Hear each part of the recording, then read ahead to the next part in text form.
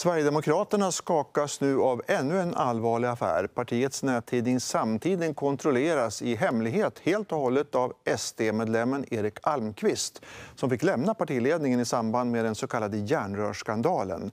Det här uppger chefredaktören på tidningen som nu lämnar sitt uppdrag med omedelbar verkan.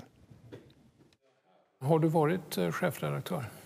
Nej, i praktiken har jag inte varit det. Utan jag har bara varit det till namnet. Vem i praktiken har varit chefredaktör? Det har Erik Almqvist varit. Jan Sjunnesson berättar att det var järnrörsskandalen som fick honom att gå med i Sverigedemokraterna.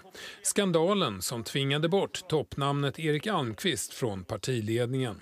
Han som sen skulle bli partiets anlitade mediekonsult där han bland annat var med om att rekrytera Jan Sjunnesson som ny chefredaktör för Samtiden hösten 2013. Det pinsamma blir ju då dels om man sitter i tv-soffor i SVT och låtsas vara det eller om man då är jag ansvarig utgivare också då och får vara ansvarig för saker och ting som man inte vill vara ansvarig för. Men hur kan man gå med på det? Ja, jag hade hela tiden uppfattningen att det här skulle kunna lösa sig som det heter. Och jag har tillbringat halvår att försöka övertyga ledningen om att nu är det dags att jag får bli chefredaktör, Erik Almqvist får träda tillbaka. Samtiden ägs av Sverigedemokraterna genom ett ägarbolag. Där sitter toppnamnen Martin Kinnunen och Paula Bieler i ledningen. De säger att Erik Almqvist bara har styrt upp en verksamhet som helt enkelt inte funkade.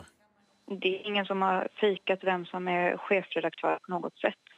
Det som har varit är att Eh, konsultföretaget då, i det här fallet har även då de valt att det ska vara Almqvist som har gått in och göra det, har fått gå in och eh, redigera och vara den som har ansvaret för publiceringen just eftersom man har gjort bedömningen att, att det tyvärr inte har fungerat med den anställda chefredaktören att, att ha sista handen vid all redaktörskap och vid redigeringar och vid publiceringar.